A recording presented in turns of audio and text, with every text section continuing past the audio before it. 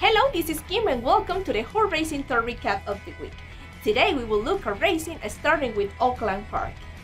The only greatest stakes action of the week took place in Hot Springs, Arkansas, starting with the G3 Whitmore, named for the 2020 Breeder Cup Sprint Champion.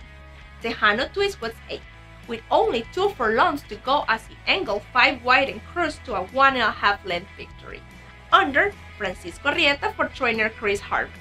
Miles ahead was second and Edge to Edge was third.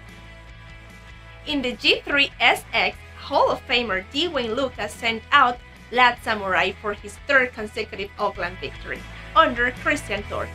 The six-year-old sat just behind the speed and then rallied in fourth path to overtake the 2022 Belmont Stakes winner Classic Cosmic. Forza di Oro got third.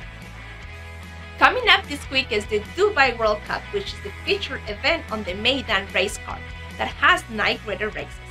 The World Cup will feature Country Grammar, who is looking to defend his championship and comes off a second place finish in the Saudi Cup.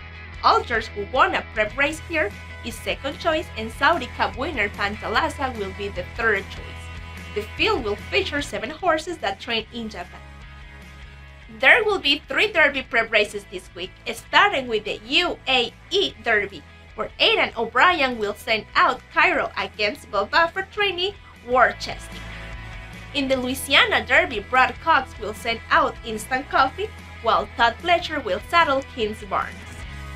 In New Mexico, the Sunland Derby will feature current Baffert trainee Fort Bragg against Hard to Figure now in the burn of Team Jack team.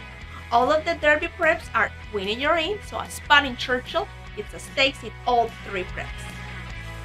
That is all for now. Check our site for the latest Kentucky Derby and Oaks Future Book odds. Have a good week and may all your wagers be winners.